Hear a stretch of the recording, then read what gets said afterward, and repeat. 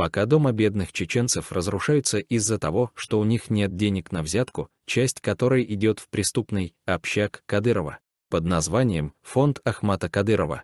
Кадыров наглядно демонстрирует, ради чего все затевалось. В Чечню вновь приехал Хамзат Чимаев, которому Кадыров, наряду с другими бойцами, подарил «Мерседес», стоимость которого находится в районе 10 миллионов рублей. Что примечательно, Чимаев получает дорогую машину от Кадырова уже в третий раз.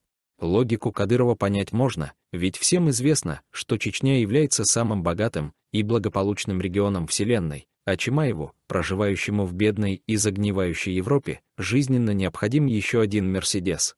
Напомним, что гонорар Чимаева за один бой в UFC равен сумме, которую обычный житель Чечни за всю свою жизнь в оккупированной Чечне не увидит. И в миллионный раз повторим фирменный вопрос, откуда у государственного чиновника, находящегося на иждивении народа, деньги на такие подарки? Ах да, чтобы как-то смягчить эту тему, официально кадыровская пропаганда заявляет, что все подарки делают из фонда Кадырова, который официально считается благотворительным. Но как вообще формально благотворительный фонд может раздавать дорогие машины миллионерам-спортсменам? Разве суть благотворительного фонда не в помощи бедным? Интересные вопросы, на которые кадыровская пропаганда нам ответы, конечно, не даст. Ведь не могут же они просто признать, что это сворованные у чеченского народа деньги.